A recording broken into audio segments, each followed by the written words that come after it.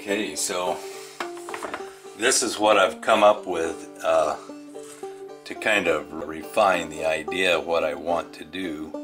I want to put a whole little ecosystem in here. This is one of them purple gallinules and they walk on top of lily pads. Uh, and then down here I can do, you know, here's a big old bass and a, a bluegill Sometimes when you get an idea like this and it's something you want to do, you just got to go ahead and do it and take your time. This is going to take a lot of time. Even the, the foliage in here will take a lot of time to do. Anyway, that's what I got in mind. I'm going to start cutting this out.